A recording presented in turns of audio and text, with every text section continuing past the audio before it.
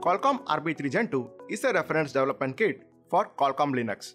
This customizable kit comes with pre-integrated sensors and cameras and it is based on QCS 6490 SOM that has a dedicated compute block for AI processing and octa-core CPU, GPU and DSP.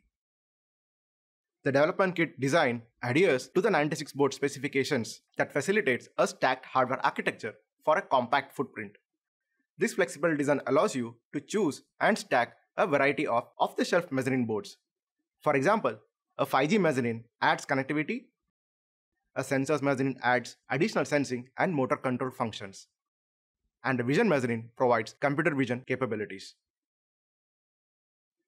By using this development kit, Along with Qualcomm Linux software, you can develop a broad range of IoT products for a variety of use cases such as AI edge boxes, connected cameras, drones, robotics, industrial, automation, and many more.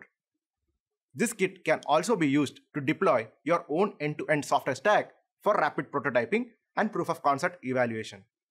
Furthermore, we provide the design files for the mainboard and a generic mezzanine card which you can customize to build your products.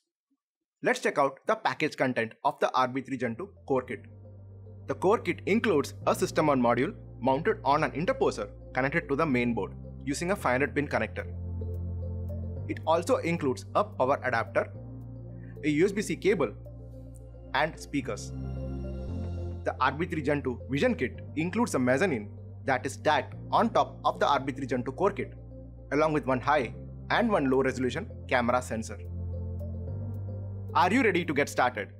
Check out the Qualcomm RB3 Gen 2 Quick Start Guide for the next steps. If you have any questions, please reach out to us through our forum.